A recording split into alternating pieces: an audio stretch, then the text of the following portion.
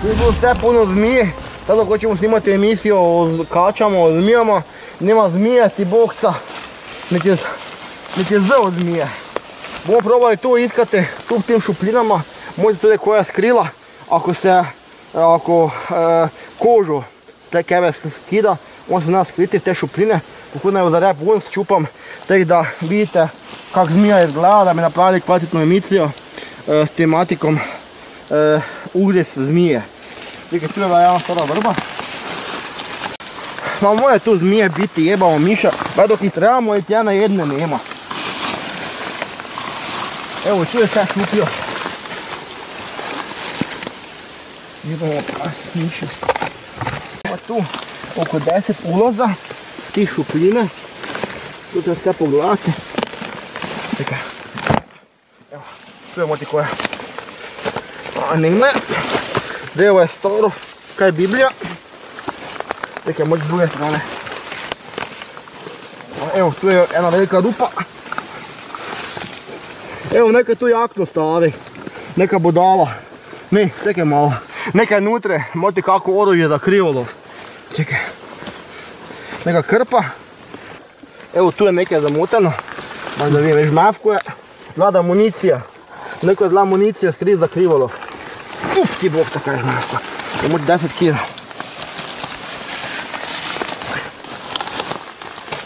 Okej. Tale je kot bolj samo smeta. Je šešir. Ne. Ovo nije, ovo nije municija. Ovo je nekako prašina. Čekaj. Krpa. Robec. Čekaj da sipamo.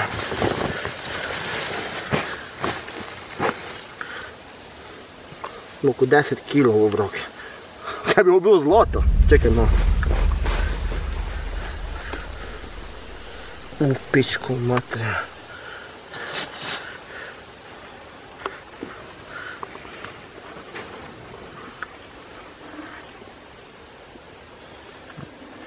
Čuj, prej, prej drove je uh, Vidovecka, ne?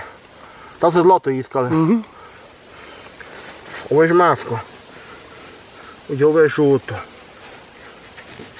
Čekaj samo.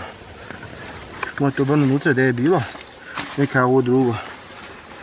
Pa ne vaja to zlato. Mi niko to zlato stavi. Pogotovo ne toliko. Čekaj da sipamo to na unutra. Čekaj. Pun čup ovih nekakvih listića žutih. Na toga pun kurac. Čekaj. Evo. Tako bil tu gore. Ne vemo kaj je tu unutra po ovom papiru.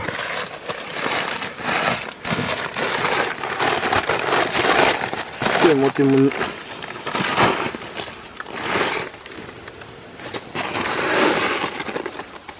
nekakvi lančeki žuti. Ali glej. Ovo, ovo nisu lančeki, ovo, je, ovo, je, nema kraja. Ovo nije lanček kaj je bil. Kaj je bil onak lančeki odrezane. Ovo, ovo je kaj so dravske vile plele. Lepo snimajo ovo. Ne vem obče kako so spojeni te. Te karige kako so spojene, nemam pojma. Vidite to. Pa koliko ima sigurno 20 metri. Čekaj, tu je nekako pismo. Ne pismo. Neki papiri. Vrednost primljena. Čirilica. Kraljevina Jugoslavija. 31. 1931. Država, razredna, razredna lotrija Kraljevine Srbe, Hrvata i Slovenaca. 15. januara 1929. godina. Cijena srečke 25 dinara. Čekajmo, neko mas tu jebe. Ujebate. Reichsbank note 10.000 mark. 10.000 maraka. 19. januar 1922. Kaj, to je penes? Penes. Hrvatska, narodna banka. Srpski narod manjka 41. Znači prvi, drugi svjetski rat. Mađarski, Hus Pengo, 20 komada, nemam pojma, mađarski nekakve peneze. 10, ne, 5 stotina srpskih dinara. Beograd, novembar 41. 100 dinara. Čovječe, Mislim- pa ti se još obogatio. Čekaj, mi to ne smemo zajeti, kužiš, to državi pripada. Ako mi to zemamo, bomo najabali. Bom pevom vrešt, ako to zemamo. No, A neko se to tu moti stavi, pa nije to valjda tu 70 let skrito unutra vrbe store. Ej, bomo mi to lepo, kak je je, lepo nazaj vrnili. In ne bomo prvo razmislili, jer mi smo si ve popili ti bokca, jedan zlatni pan, a drugi zlatni pan mi smo posle spite. Pa bomo bomo premislili, kaj bomo s tem napravili. Ako do ve niko to ne pobra, namo je ti dale pobra. Jer on pa ne vede na ovo zlato, pa ne na ovo zlato biti kušeno, viš koliko je tu toga. Pa to je toga ti bokca 30 metri ovoga lančeka. Nemoguće da je to ovaj neko tu zlato ostavi i mi smo našli ga nakon 70 let. Pa viš koliko tu toga jada. Ovo pičko mater. Nike, bom to lepo da bo zapra, zamuta, da imamo doj, da je bilo. In da bomo prvo trezni razmislili, kaj napravimo. To mi pravi še. Jer gledaj, financijska je porezna uprava, ti bog se nam bo mnom dimo došla, ako to vidite snimke na, na, na, na, YouTube-u. Pogledaj še koliko je to lančeka, koliko je to ove prašine ti bogce. Listiće. Jebao, Miša, jo, zmije išće, jebao. Viš kaj? Ajde. niš to skrije, zmija bomo za iduću sezonu, iduće godine snimili film o zmijama. Ajde, ako je dove, je, pa ne ukaj. Evo kako je bilo. Ko jebe zlato, nije zlato sve što sja. A i ovako enak nemamo vi to prodati niti koristiti, zato kaj država sve veme. Ali ako bude Bernarda Juk štela napraviti kakvu seljačku bunu, onda ji bomo pokazali gdje je ga vlogo, pa nek si ona išče. Jer svaka revolucija treba šponzora. Evo, ovo zamotam. Tu vrnem. Evo, pičko mat, evo. Tu unutra. Trulo vrbo. Evo, gle. Posnimaj ovo. Onako raka da, ni- da smo se svima amortizirali. Ti posnimao rupo? No, Evo. I još idemo gore ovo trulo. Koro. ne, nek prhne tu. Nek prhne. Ako nam je suđeno da je to naše, onda nam bude to naše i dok se budu zakoni promijenili, da bomo mi to smjeli zadržati. Ali idemo dale.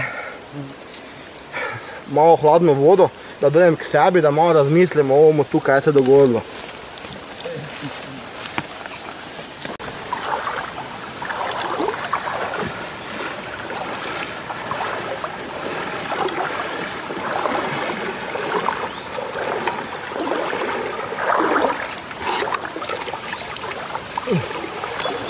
Ovo je bilo prežestoko. Ajde idemo negdje se sotasti, a malo analiziramo situaciju. Sa onom... onim stupom.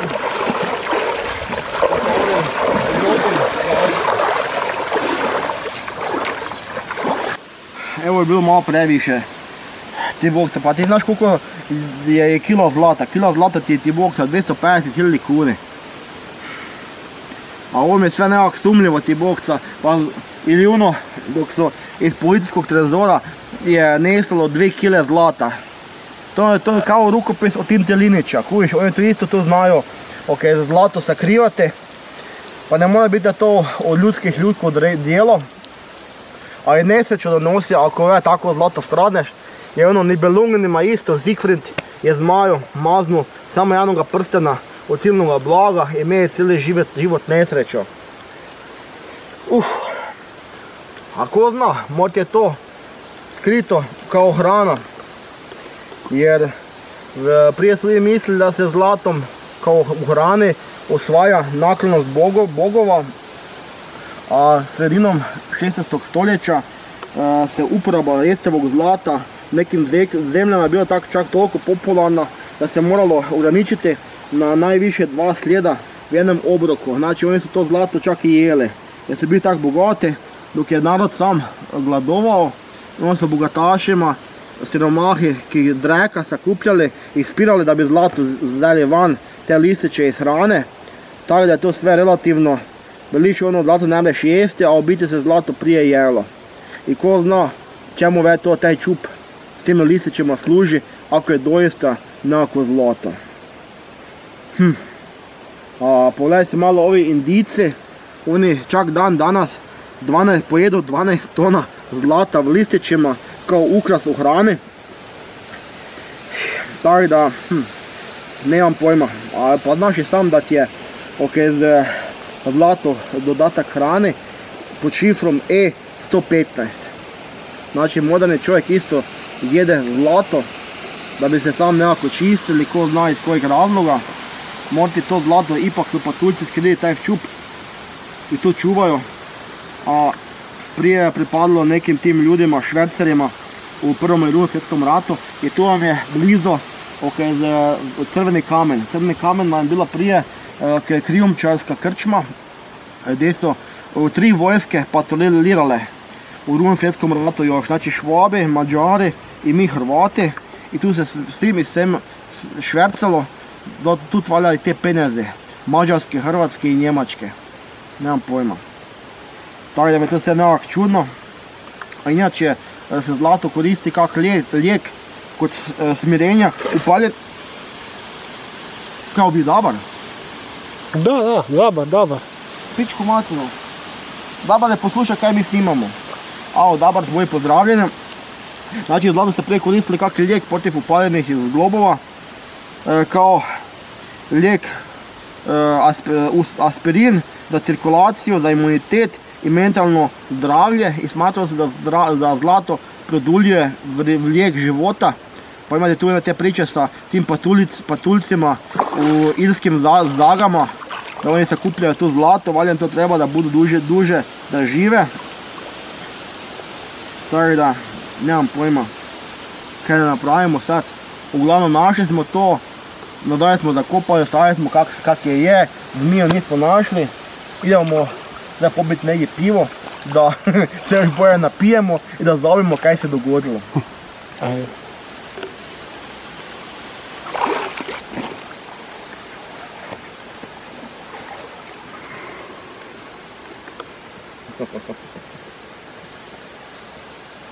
Jebem pa, smatram lopovka. Smo snimiti da moramo, da smo obećali snimiti o zmijama, a zmije naravno nojite.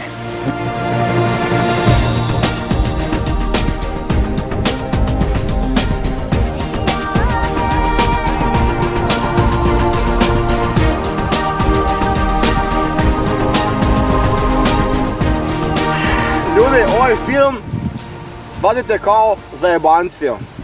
Naravno da ono kad smo našli sigurno nije zlato, jedno pravo zlato je ovaj tu zlatni pan. Dok ja spijem ovo litro, više nam znal gdje je onaj čup kojem je drevi, gdje sam drevo naše i nemojte me pitati v inboxu gdje to je, jer to vam sigurno zobe, jer inače, jer ovak inak je to sve zajebancija i više sigurno nam našel to mjesto. Tako da ste se bar nekaj navčili kaj se toga tiče, a zlata sigurno ne bi našli tako jednostavno tu na drovi, jer to je nemoguće. To ne ne postojati. Tako da idem si popiti ovo jedno kaj je realno, a to je ovaj zlatni pan, ova jedna litra. Idemo pomalo dimo, a onda bomo tu malo hasnuli i uživali u ovom kraju liko.